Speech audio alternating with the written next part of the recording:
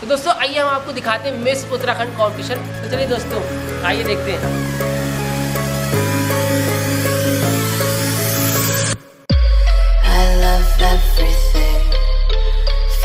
spreading all around my room. My world's so bright, it's hard to breathe, but that's alright.